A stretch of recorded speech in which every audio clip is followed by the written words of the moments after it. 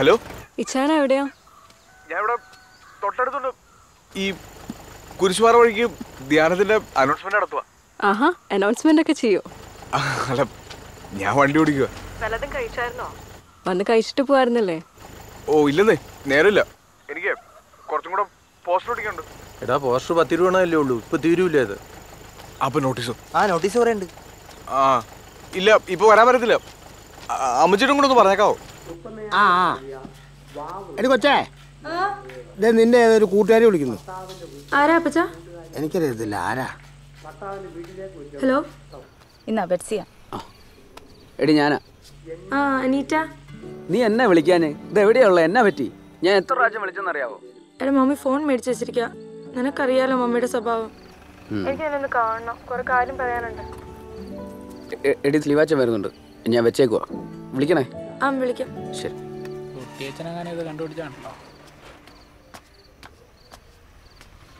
എടാ കട കൊല്ലുന്നു ഞാൻ കൂടിക്കോളാം ആ. എന്നാ പറ്റി? എനിക്ക് ആ ധ്യാനത്തിന്റെ പോസ്റ്റർ ഓടിക്കാൻ പോകണ്ട് എനിക്ക് പാസ്സാലൊക്കെ ഒരു സ്ഥലമാണ്. ഇതാണ് വീട്ടിൽ പോകാതെ ഇപ്പൊ പോവാ.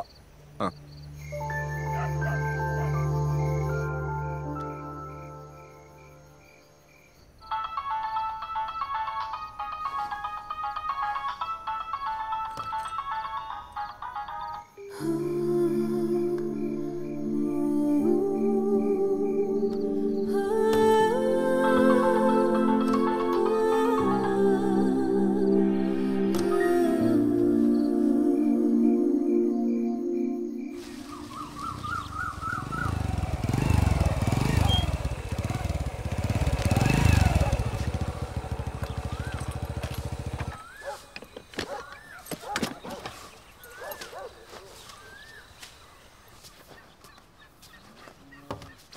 നേരം വിളിക്കുന്നവരെ നീ എവിടെ ആയിരുന്നടാ ഇന്നലെ ചെറിയൊരു പണി കിട്ടിയെന്നേ. എന്റെ കൂടെ പോസ്റ്റർ ഒട്ടിക്കാൻ വന്നെല്ലാം പോയി കളഞ്ഞു. പിന്നെ ഞാൻ ഒറ്റക്കായിരുന്നു വരത്തില്ല നിനക്കൊന്ന് വിളിച്ചു പറയാൻ പാടില്ലായിരുന്നോ? പിന്നെ നീ എന്നാത്തിനെ കുന്തമായിട്ട് നടക്കുന്നത്? ഈ കൊച്ചു പങ്ങതിരെ അവരെ കാത്തിരുന്നു. എന്നെ കൂടെ നിന്റെ കൂട്ടുകാരായ കൂട്ടുകാരെ മൊത്തം വിളിപ്പിച്ചു. ഞാൻ വിളിച്ചു പറഞ്ഞായിരുന്നല്ലോ വരൂലെന്ന്. വന്നേക്കാന്നല്ലേ പറഞ്ഞേ? അമ്മജി ഇവിടെ എല്ലാ വർഷവും പലരുടെ പോസ്റ്റർ ഒട്ടിക്കാൻ പോകുന്നാരാ അത് നിങ്ങളൊക്കെയാ. ആണല്ലോ. പിന്നെ എല്ലാത്തിനും ഇങ്ങനെ ടെൻഷൻ അടിക്കുന്ന ആവശ്യമുണ്ടോ? ഉണ്ടോ? ഇല്ല. ആ. അപ്പൊ ഞാൻ ചെയ്യുന്നത് തെറ്റുണ്ടോ? ഇല്ല. പിന്നെന്നാ? എന്നിട്ട് പോസ്റ്റർ ഒട്ടിച്ച് കഴിഞ്ഞോ? അമ്മച്ചി നോക്കി ഇപ്രാവശ്യത്തെ ആൾ. എന്നാ മക്കളിരി അമ്മച്ചി കഞ്ഞി എടുത്തോണ്ട് വരാം. ആ. അമ്മച്ചി ഞാൻ പോയി ആ പശുവിനെ ഒന്ന് മാറി കെട്ടിച്ചോരേ ഞാനും വരാം. ആണോ? ഒരു കുറ്റി കൂടെ നളരുത് ആ ഇതന്നെടാ വേന്ന് വെട്ടാറങ്ങാഞ്ഞേ ഓ ഇനിയിപ്പോ പതിവ് ശീലങ്ങളൊക്കെ മാറും. ഏ അതൊന്നും അല്ലെന്ന്. ഇന്നലെ നമ്മുടെ പള്ളിയുടെ ധ്യാനത്തിന്റെ പോസ്റ്റർ ഒട്ടിക്കാൻ പോയി വരുന്നു ആ ശരിടാ ആ. ഇച്ചാൻ ഇന്നും പോകുന്നുണ്ടോ? പിന്നെ അമ്മ രാവിലെ അറക്കാൻ ഭാഗത്തേക്ക് ഇറങ്ങിക്കുക എനിക്ക് പന്ത്രണ്ട് മണിയാകുമ്പോൾ കൃഷി ഓഫീസർ മോഹൻ സാറിനെ പോയി ഒന്ന് കാണണം. അതാ ഞാനിങ്ങ് വന്നേ. ഇനി വൈകുന്നേരം പോയാൽ മതി. അപ്പൊ ഇന്നും ഉണ്ടാവില്ല അല്ലേ? ഈ ബേസിൽ രാത്രി തണുപ്പടിച്ച് ശ്വാസം മുട്ടിൽ വരുന്നേ. പിന്നെ പൗലുസാറിന് രണ്ട് കുഞ്ഞു പിള്ളേരാ. അവരോടൊക്കെ എങ്ങനെ നമ്മൾ രാത്രി നിൽക്കാൻ പറയണേ.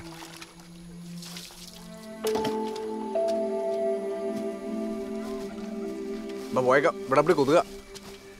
ഇച്ചാൻ ഞാൻ ഒരു കാര്യം ചോദിക്കട്ടെ? ഇച്ഛാൻ ഇച്ചാൻ ഓക്കെ ആണോ എന്നോട് എന്തെങ്കിലും പ്രശ്നമുണ്ടോ? എന്നെ അവോയ്ഡ് ചെയ്യുന്ന പോലെ എനിക്ക് ഫീൽ ചെയ്യുന്നുണ്ട്. ഇനിയിപ്പോ എന്റെ എന്തെങ്കിലും പ്രശ്നം കൊണ്ടാണെങ്കിൽ എന്നോട് പറയണേ?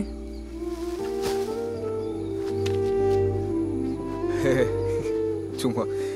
വാ അതേ ഒന്ന് എനിക്ക് കുറച്ച് കാര്യങ്ങൾ അറിയണം.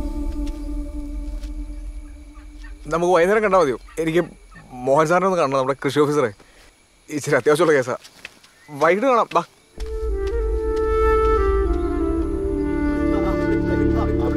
ബാ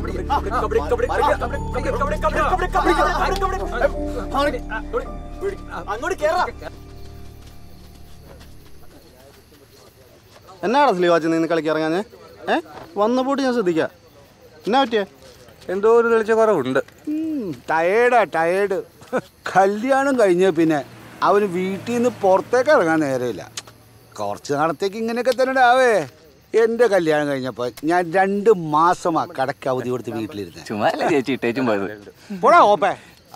അല്ലേലും ഇപ്പോഴത്തെ പെമ്പടല്ലാണ്ട പ്രശ്നം കാശാനെ എന്റെ അനുഭവത്തിന്റെ വെളിച്ചത്തിൽ പറയാ. പാടായിരിക്കും. ആദ്യം നീ നിന്റെ വലി ഒന്ന് നിർത്തണം. രാവിലെ രണ്ട് മണിക്കൂർ എക്സസൈസ് ചെയ്യണം. നീ ചുമ്മാ പയറ് പോലെ നിൽക്കും. ഒന്നാമത്തെ കാര്യം നീ വലിയൊരു മണ്ടത്തിനെ കാണിച്ചു. ഒരിക്കലും ടൗണിൽ പോയി പെണ്ണ് കെട്ടെടുത്തായിരുന്നടാ. അവിടെയൊക്കെ ഒന്നും രണ്ടും പ്രേമിക്കാത്ത പെണ്ണുങ്ങൾ ഇല്ലടാ എവിടെയായാലും ഈ പെണ്ണുങ്ങൾ പ്രേമിക്കുന്ന ഈ തലകർച്ചവന്മാരെ ആയിരിക്കും മനസ്സിലായല്ലോ? ഈ തലതെറിച്ചവന്മാരെക്കാളും മിടുക്കന്മാരാണ് നമ്മളെന്ന് കാണിക്കണം. ഈ പെമ്പിള്ളേരുടെ മുമ്പിലേ നമ്മൾ നമ്മുടെ കരുത്ത് കാണിക്കണം. അല്ലേ നമുക്കൊരു വിലയുണ്ടാവില്ല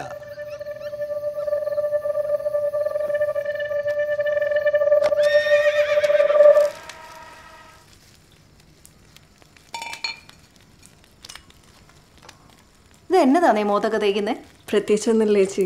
ദേ പുറത്തോട്ട് ഇറങ്ങി വെയിൽ കൊണ്ടുള്ള നിറമൊന്നും കളയണ്ട കേട്ടോ. അമ്മച്ചി!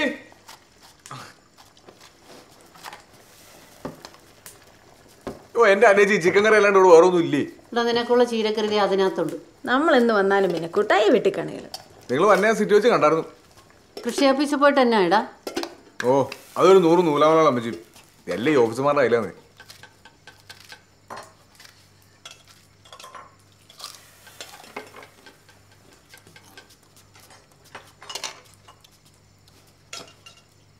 ആളാകെ മാറിപ്പോയില്ലേ അമ്മച്ചി? എന്നാലും അവന്റെ ഒരു സന്തോഷം കണ്ടില്ലേ? എനിക്കിനി ചത്താലും വേണ്ടിയില്ല.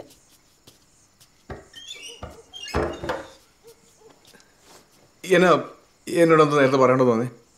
രാവിലെ പറഞ്ഞില്ലായിരുന്നു? ഏയ് അതൊന്നുമില്ല. ഞാൻ വിചാരിച്ചൊന്നും വരില്ല എന്ന്. തീ വന്നില്ലേ? ഇനി ഞാൻ കൂടെ പോകുന്നില്ല. ആ, പറയാതെ തരട്ടെ.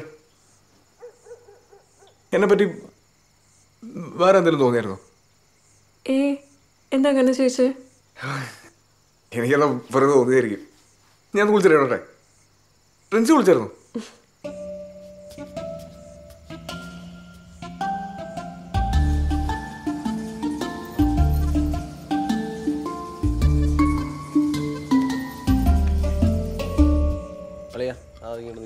ആ ക്ലാസ്സിങ്ക ഇതോ? മതി മതി മതി. ഏ അച്ഛേ അപ്പം അധികം കഴിക്കണ്ട കേട്ടോ. ഷുഗർ ഇരിക്ക്. അതങ്ങ് എടുത്തേരി ദാ, ജോസേട്ടാ വെള്ളത്തിങ് എടുത്തേ.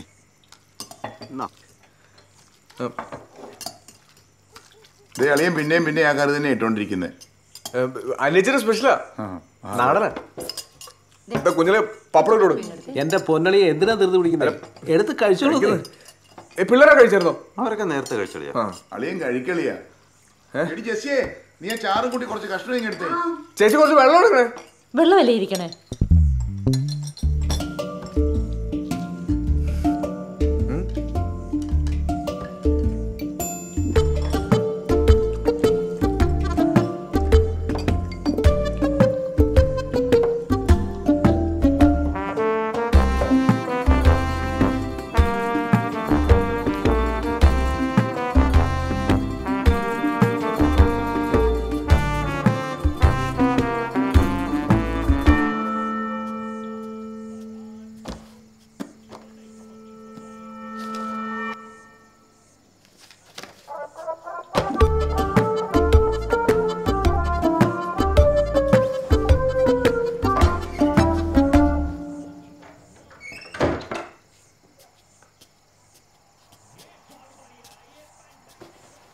അവരൊക്കെ കിടന്നായിരുന്നോ? T V കണ്ടോണ്ടിരിക്കാം. ഇതൊക്കെ ഒന്ന് ഉറക്കൂല്ലേ? നാളെ ധ്യാനത്തിന് പോകണ്ടേ? പിന്നെ പോണ്ടേ കമ്മിറ്റിയിൽ കൂടെ ഉള്ളതല്ലേ? ക്രിക്കറ്റില്ലേ ഞാൻ ശ്രദ്ധിച്ചില്ല. ഞാനൊന്ന് നോക്കിച്ചോട്ടെ. ഏ